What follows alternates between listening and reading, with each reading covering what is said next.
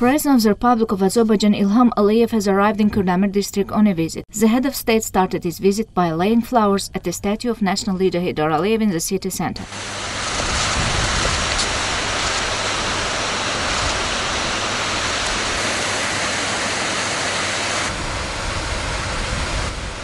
Head of Kurdamir District Executive Authority Ceyhun Safarov informed the head of state about the conditions created in the Heydar Aliyev Park and work carried out here over the last years.